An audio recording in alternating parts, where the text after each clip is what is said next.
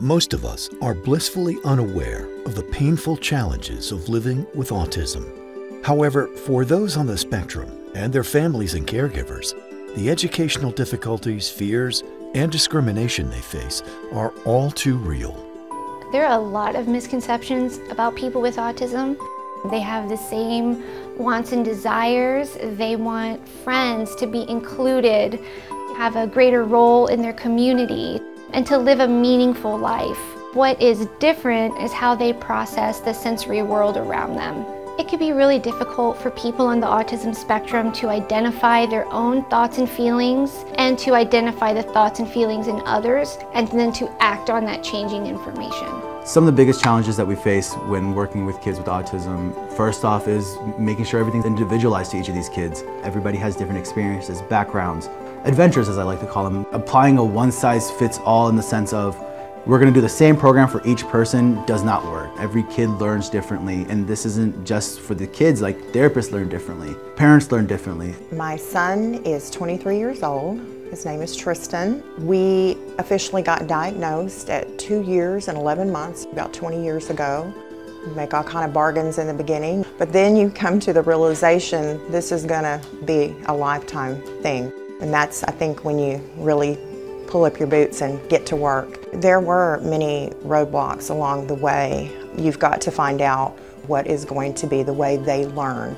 He has made tremendous progress and I attribute that to ABA, Applied Behavioral Analysis. That was key in teaching him how to read and to write. Without that, he would not be where he is. ABA therapy works by identifying the wants, needs, fears, phobias, and communication style of each individual. One of the things I always teach staff and family is that our job is to work ourselves out of a job is to make sure that we can help this kid become so independent that they don't need us anymore. The majority of people on the autism spectrum require 30 to 40 hours of ABA per week. It takes an entire village to give a comprehensive program to a child. It does take a village and I really tried to keep us all on the same page.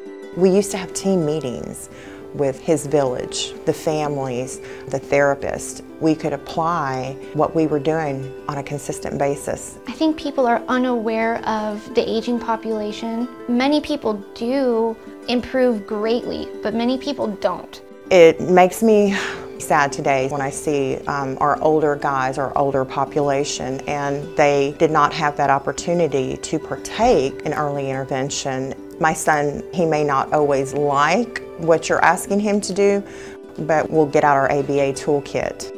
I think the biggest solution would be people that care.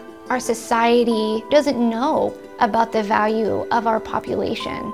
I believe once people meet our kids or know them, they're going to see how perfect they are. They are innocents walking. They deserve a happy life just like we all do. They just need a little extra help to get there want them to put them on the exact level that they need and try to actually get close to the kid instead of just putting them in therapy to see if they can get like be more normal, which is not a good thing. Like let them be them.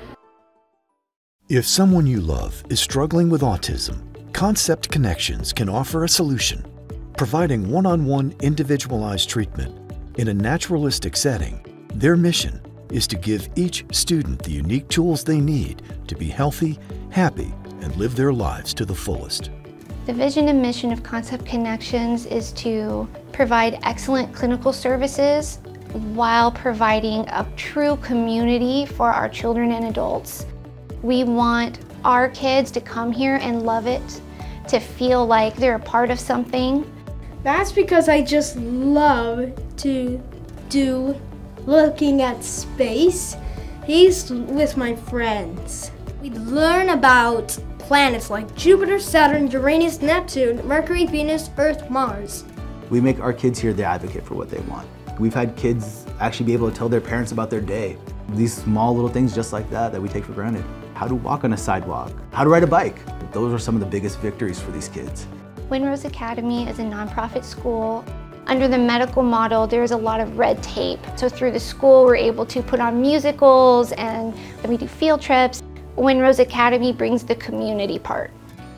My dream for a kinder and more compassionate world for people with autism is one in which they are truly included to help raise awareness and help raise their value. So if you see a kid tantruming in Kroger, maybe give it a second thought. Maybe it's not a rude kid. Maybe it's a kid having a challenge. One thing that I know is prevalent is people with autism being mistaken for like a criminal or an intruder, and so they can become accidentally hurt because law enforcement has no idea. Sign your child up immediately for swim lessons because unfortunately drowning is the leading cause of death for our autism population. Those swimming lessons could really save your child's life.